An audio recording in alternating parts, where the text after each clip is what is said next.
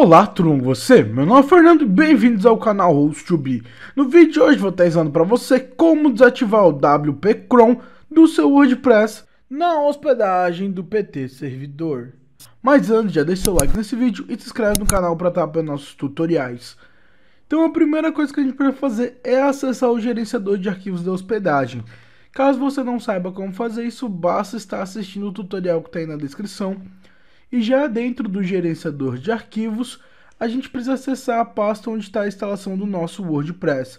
No meu caso aqui eu vou pegar o domínio principal, então vou acessar o domínio principal, porém no seu caso se for um domínio secundário, um domínio adicional ou um subdomínio, basta entrar na pasta com o nome do domínio ou subdomínio. Então no meu caso, como é o domínio principal, nós vamos acessar a pasta com o nome de public underline HTML.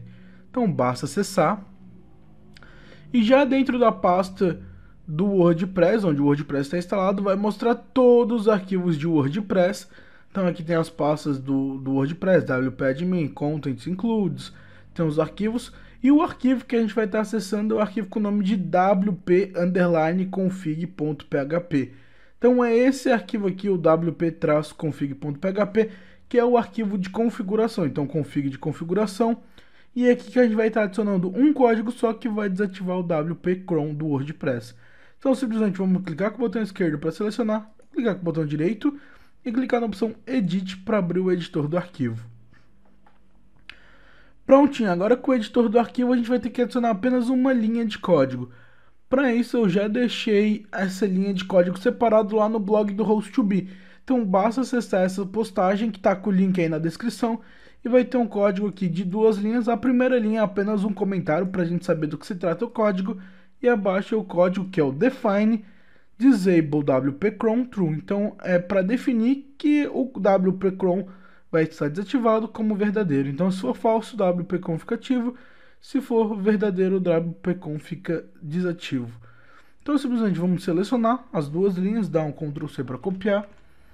Vim no editor, vim aqui onde está a primeira linha, né, onde está o código do PHP, dar um Enter e na linha 2 nós vamos dar um Ctrl V para colar. Então eu sempre recomendo colocar as opções de define já no começo do script, porque se a gente colocar em outros lugares talvez dê algum erro, então vamos deixar no começo que já é para funcionar perfeitamente.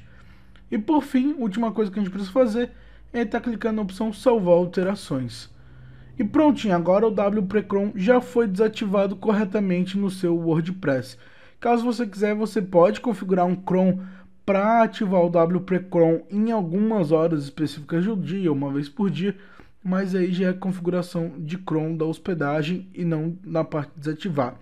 Então nesse tutorial você aprendeu como desativar o WPCron do seu WordPress. Se você gostou desse vídeo, deixe seu like, se inscreva no canal para não perder nenhuma atualização.